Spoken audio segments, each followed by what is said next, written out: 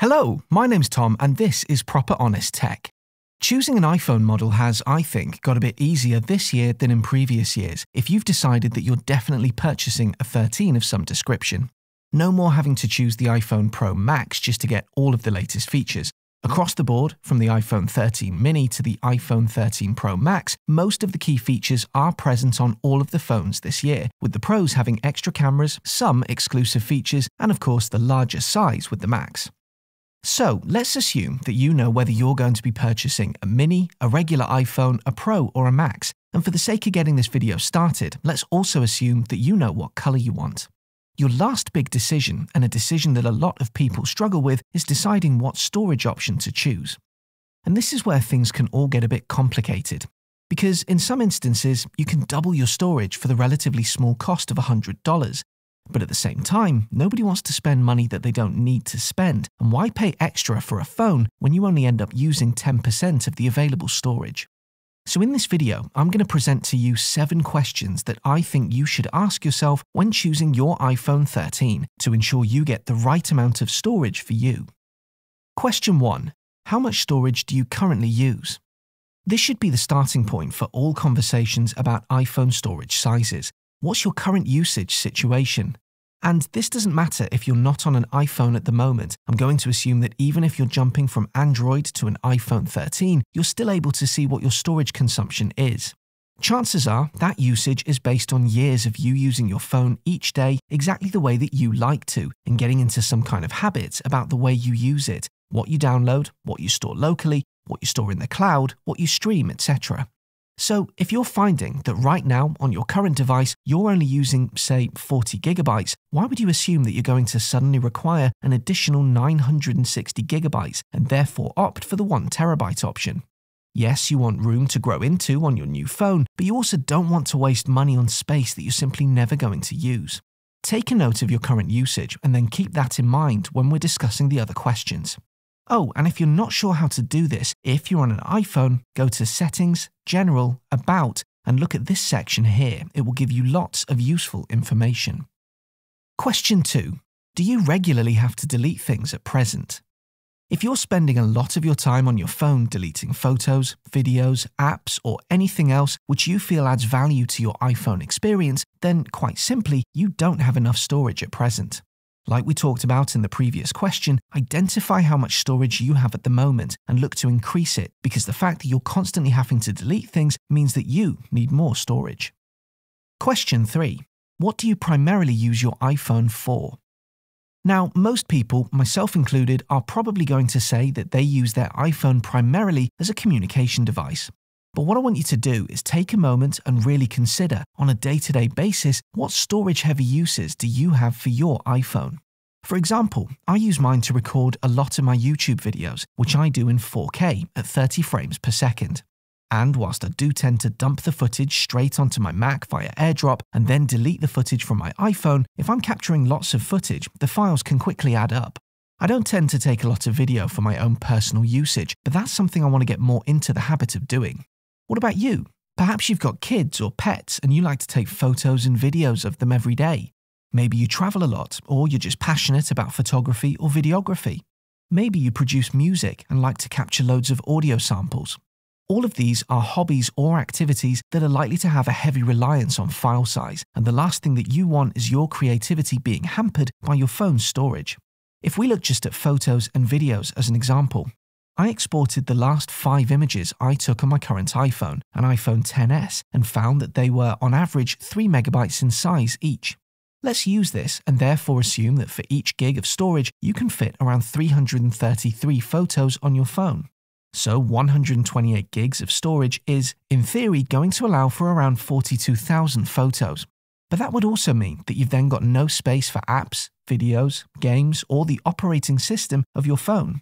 42,000 photos seems like a lot to me, but if you, for example, took 25 photos a day, in a year that would be almost 10,000 photos. You can see how, for some people, they really do need the space. And when it comes to video, one hour of 4K HEVC footage at 60 frames per second will take up around 24 gigabytes. Again, an hour of footage might sound like a lot, but consider how many videos you take of a minute duration or more, and you can see how quickly it can all add up. Question 4. What kind of apps do you download? Recent research shows that apps in general are getting much larger, with the core size of apps like Amazon, Gmail, Instagram, Facebook, TikTok, and others all being around four times larger today than they were back in 2016. In other words, you need four times the available storage on your phone just to host the same apps you've been using for years. And as apps become more powerful and complex, I'd guess that this trend is likely to continue. So think about the kind of apps that you use on your device. If you run the core iPhone apps and just a handful of social media apps on top, you might be comfortable opting for less storage. On the other hand, if you run creative apps like video or audio editing suites, or professional tools like animation or CAD apps, or even games that take advantage of the immense power of new iPhones, you might well want to invest in more storage to ensure that you've got enough space to run everything smoothly today and in the future. Question 5. How long do you plan on keeping the iPhone? I put this question right after the previous question because they're kind of linked. Apps growing year on year isn't necessarily an issue if you've got the money to be upgrading your phone every year.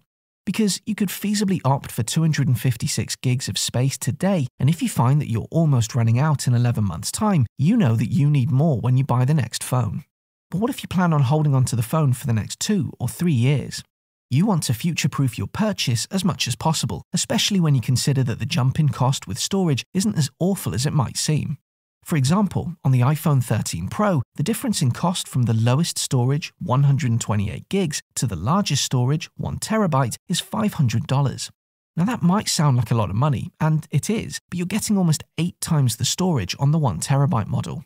My advice would be that if you know you're going to hold onto the phone for two or three years, try to work out the minimum storage that you'd need to get through the next 12 months, and then purchase the phone that comes closest to double that storage capacity, hopefully future proofing you for the foreseeable. Question 6. Do you use and are you happy with cloud storage? Years ago, pre iCloud, if you took a lot of photos and videos with your phone, you either had to accept that whatever storage you had on your phone was your lot, or you had to have a local backup option, like syncing your phone with your computer. But thanks to cloud storage solutions like iCloud, you don't have to be quite as restrictive anymore. Your phone has settings built in to offload files to the cloud in order to save space on your device. It's why, if you view a photo that you've not viewed for a while, it shows that little white circle at the bottom where your device is downloading the full res version from the cloud. The same with video. Oftentimes, you'll actually be streaming your video file rather than watching it locally on your device. And if you're happy with how that works for you, then you perhaps don't need to worry quite so much about iPhone storage, and you can think more about having a suitable cloud plan instead. But what if you live in an area where cell coverage is poor, or your home Wi Fi is slow, you might prefer to store everything locally and not have your device automatically punt things to the cloud for you. And if that's the case, make sure you've got the space to do that. Question 7. Do you want access to the ProRes video function in 4K? A significant feature that's coming to the iPhone Pros in the near future is the ability to record video in ProRes format, which has the potential to be a killer feature for anyone who uses their iPhones for creating video content and wants the best possible video files. However, due to the file size, which I believe is around 4GB for every minute of 4K ProRes footage, Apple have limited the 4K functionality of this feature to the 256GB storage options and above on the Pros, and the feature isn't available at all on the iPhone 13 or Mini.